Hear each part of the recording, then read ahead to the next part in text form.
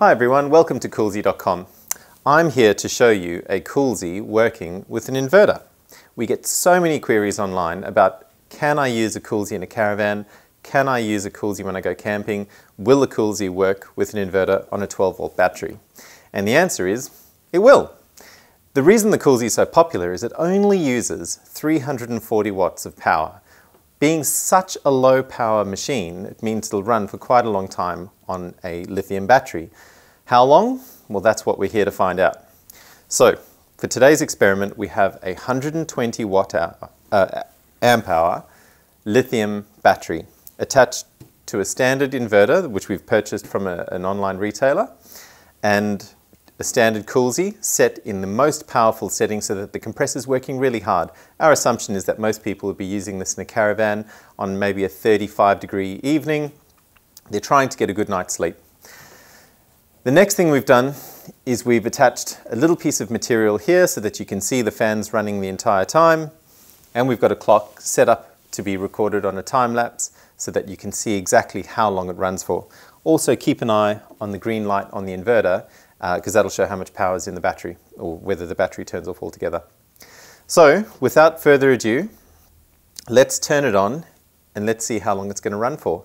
Um, and I guess this will show that you can use a Coolzy in a caravan with a standard lithium battery and a standard inverter.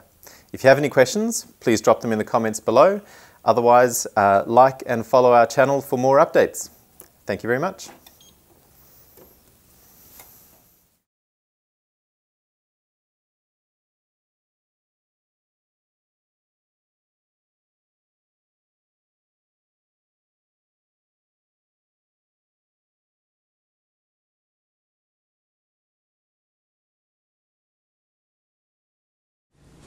Hey guys, well, um, the battery ran out about an hour ago. Um, we've rewound the tape, had a look at it.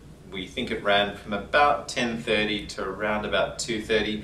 So it's about four hours, maybe a shade under four hours, which is pretty impressive. Uh, a lot of us in the office thought it would only go for about three hours, considering the losses that you might incur in the, uh, in the inverter.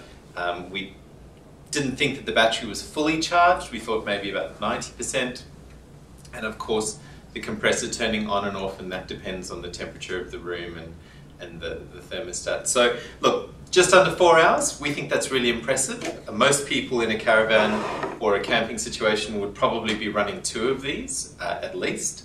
Um, so that shows that one of our units could probably run for close to eight hours giving you a really good night's sleep on a really uh, hot, humid night in sticky Darwin or Broome. So um, there you have it.